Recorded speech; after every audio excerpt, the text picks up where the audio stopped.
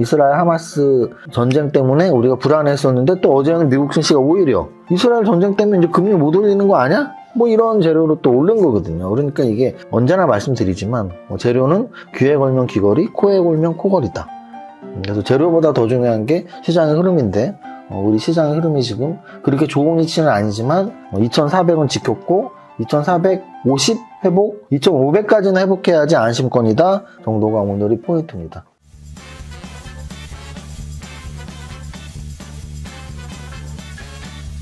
대표님. 라이시였어? 어, 뭐예요? 부채예요?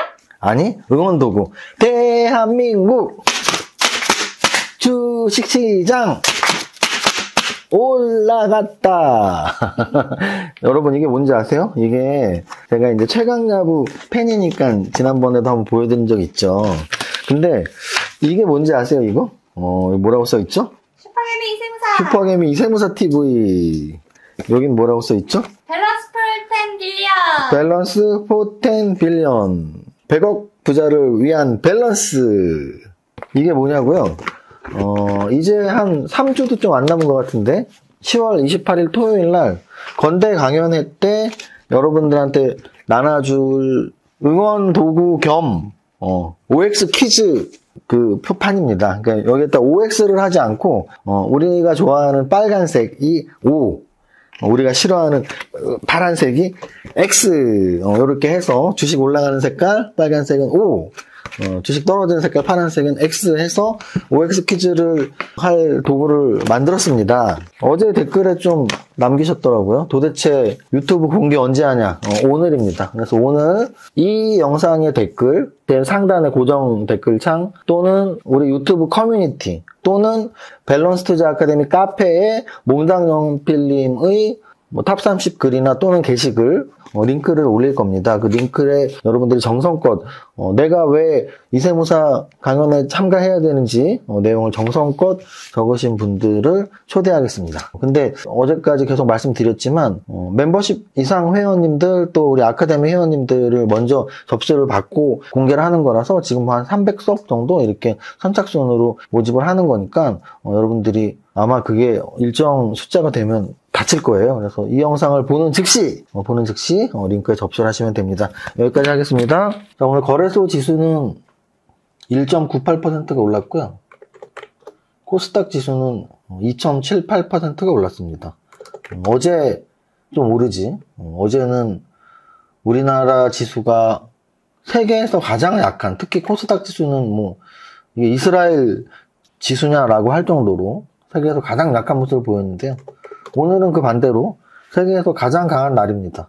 거래소 1.98% 상승, 코스닥 2.78% 상승. 그래서 양 시장 모두 강한 상승, 양선 상승이 나왔고요. 지금 관건은 200일선 위로 빨리 올라가야 되는데 코스피는 2,500이거든요. 지금 현재 200일선이. 그래서 이 200일선과 2,500을 회복할 수 있느냐? 이게 관건입니다. 여기 회복을 빨리 못한다면 어, 차트가 좀 흘러내리는 차트가 될 확률이 있죠. 그래서 요 2,500 회복이 급선무인데 좀 더 지켜봐야 되겠습니다. 어쨌든 2,400 이하 하락 위험은 살짝은 벗어나는데 그게 안심이 되려면 2,500까지는 가야 된다. 아직은 안심권은 아니다.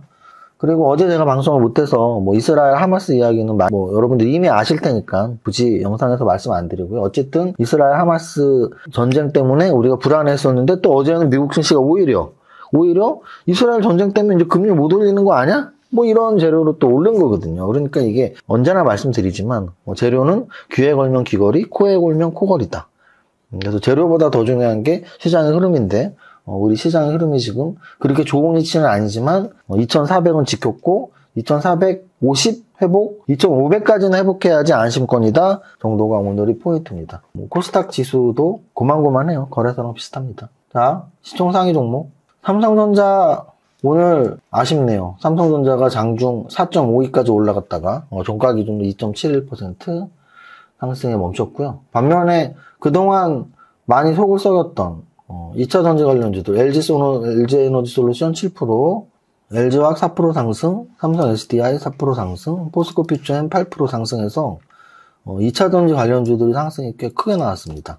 거래대금 상위 종목 보면 삼성전자 거래대금이 오늘 좀 많았어요. 1조 4천억, 1조 4천억까지 올라와 있고 근데 재밌는 것은 어, 그 아래 SK 하이닉스, 포스코홀딩스, 에코프로 다 거래되는 큰 애들이죠. 원래 원래 시가총이 큰 애들이죠. 그래서 뭐 개별 잡주가 지금 낄 자리는 사실 아니었다. 뭐 이런 생각도 드는 거래대금 상이고요. 근데 낀 애가 있네요. 어, 흥구석유, 어, 얘는 뭐죠? 어, 유가 관련주, 어, 유가 관련주가 24%가 오르면서 거래대금 상위에 좀 포진해 있고, 어, 에코프로 7% 상승, 에코프로 BM 9% 상승하면서 좀 포스코 퓨처엠과 함께 2차 전지 관련주들이 오늘 시가총액 상위 종목 분석 또는 거래대금 상위 종목 분석에서 2차 전지 관련주들이 상승이 돋보였다. 그리고 흥구석유, 한국석유 같은 유가 관련주들도 거래대금 상위에 포진했다. 이 정도 정리할 수 있겠습니다.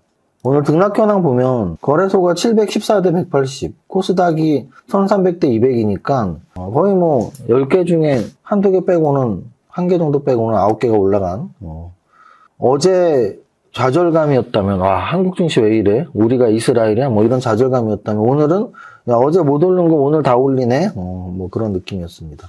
등락 현황 보시면 상한가 세 종목의 어, top 30이 10%입니다. 상한가 세 종목의 top 30이 10%. 상한가 종목 중에는 아까 말씀드렸던 어, 흥구석유류의 어, 유가 관련주가 몇 개 보이고 어, 넥스트 칩 어, 자율주행 관련주에서 어, 굉장히 기술력이 돋보이는 회사니까 좀 관심 가지실 필요 있고 오늘 재밌는 것은 키움증권 15% 상승 키움증권 15% 상승 그리고 CS 베어링 풍력 관련주죠. CS 베어링 13% 상승. OCI 홀딩스 태양광이죠. 그래서 어, 유가가 올라가면서 풍력, 태양력 어, 이런 쪽이 또 어, 주목을 받고 있는 어, 그런 모습입니다. 그래서 오늘 큰 그림으로 말씀드리면 지수가 어제는 우리나라만 빠지는 오늘은 우리나라가 가장 강한 이렇게 흐름을 지수 흐름을 말씀드리고 2,400 안 깬 거는 다행, 2,450 회복 다행. 근데 안심을 하려면 2,500까지는 가야 되는데 그 200일선이 딱 걸려 있어갖고 좀 지켜봐야 될 것 같습니다.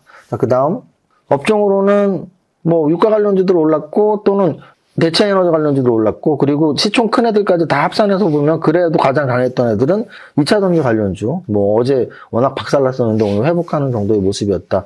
여기까지 하면 될 것 같아요. 건대 강연의 지원 시작! 나는 10년 안에 100억 부자 될 거야. 파이팅! To survive the stock market, we need to learn our ways. I see you. 아 더워. 에디트까지 해야 돼?